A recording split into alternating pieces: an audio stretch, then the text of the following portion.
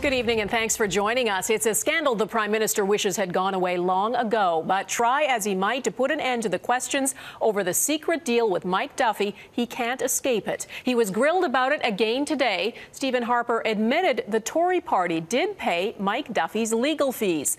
And tonight there's evidence Canadians are losing faith in the Prime Minister. A new poll shows 69% disapprove of how he's handling the job. We'll have more on that poll in a moment. But first, Mike Le Couteur and the grilling in the House. Mike? Well, Donna, you just knew it was going to be a rough day for the Prime Minister when even his most loyal backbenchers were breaking ranks and breaking their silence. Personally, I'm just really discouraged and disgusted with the whole thing. It's clear Conservatives aren't happy with how all of this was handled. Inside the House, the Prime Minister was grilled for more than half an hour about the money his office and his party gave to Duffy to clear up his expense troubles. How many checks were there? The Prime Minister's response he sees nothing wrong with paying Duffy's legal bills. And as I've said, Mr. Speaker, the, the, Conservative Fund regularly does, in fact, cover, cover the legal expenses of its members of Parliament. Harper also had to answer Duffy's allegation that the senator was told to lie about where he got the 90 grand to pay off his expense claims. That turned out, Mr. Speaker, to be a story told by Mr. Duffy and Mr. Wright. As a consequence, Mr. Wright no longer works on the public payroll, and Mr. Duffy should not be on the public payroll. Precisely because it was wrong, why did the Prime Minister pay to defend it? Thomas Mulcair asked every single one of the NDP's questions today, and the opposition doesn't think much of Harper's defense that paying $13,500 to cover the senator's legal fees was par for the course. Now that they've been busted on the fact that there were two checks and say, well, it's perfectly acceptable to write a, a, a, secret check to cover off legal fees for illegitimate expenses. He can't have it both ways. Now, Harper wants Senators Wallin, Duffy, and Brazeau off the public purse, but whether or not that will happen is still being debated. Senators, do we have a decision on the motions? Oh, hey, you're going to have to wait and see. motions to suspend all three of them without pay are still on the floor of the Senate. But after a caucus meeting, it seems the Conservatives aren't standing by their original plan. Are you now weighing different options?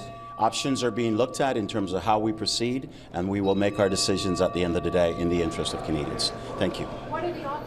And late today, the Conservative leader in the Senate said there are no other options. He went on to say that he doubts that this vote will happen before the Tory convention at the end of this week. Donna. Which is, of course, what the Prime Minister had hoped for. Mike Le Couteur, thanks. All of this is taking a toll on the credibility of politicians generally, but on the Conservative Party and the Prime Minister in particular. A new poll released today shows the government mired in its lowest levels of voter support since it assumed power.